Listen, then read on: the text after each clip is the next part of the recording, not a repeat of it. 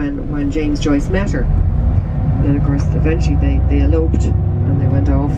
And uh, his father wasn't all that happy about it and sort of said, Well, Nora Barnacle, well, she'll stick to him anyway.